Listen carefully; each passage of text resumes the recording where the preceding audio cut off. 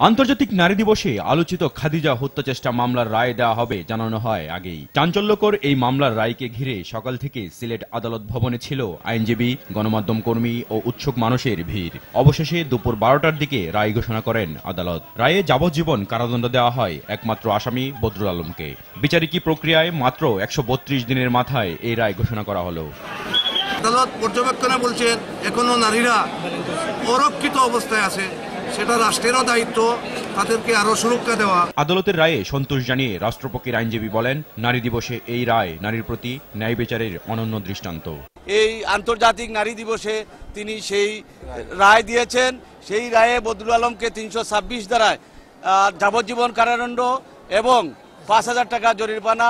অনাদায়ে আরও দুই মাসের বিনাশ্রম কারাদণ্ড দিয়েছেন। ন্যাক্কারজনক হামলার শিকার খাদিজা ও তার পরিবারও। তাদের প্রত্যাশা উচ্চ আদালতেও বহাল থাকবে এই রায়। আমি আল্লাহর কাছে এবং মাননীয় প্রধানমন্ত্রীর কাছে এবং আদালতের কাছে আমি শুক্রিয়া জানাই।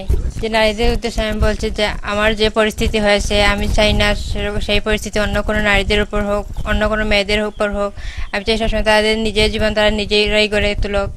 গেল বছরের তিন অক্টোবর সিলেট সরকারি মহিলা কলেজের ছাত্রী খাদিজাকে চাপাতি দিয়ে কুপিয়ে গুরুতর আহত করে শাহজালাল বিজ্ঞান ও প্রযুক্তি বিশ্ববিদ্যালয়ের অর্থনীতি বিভাগের ছাত্র ও ছাত্রলীগ নেতা বদরুল।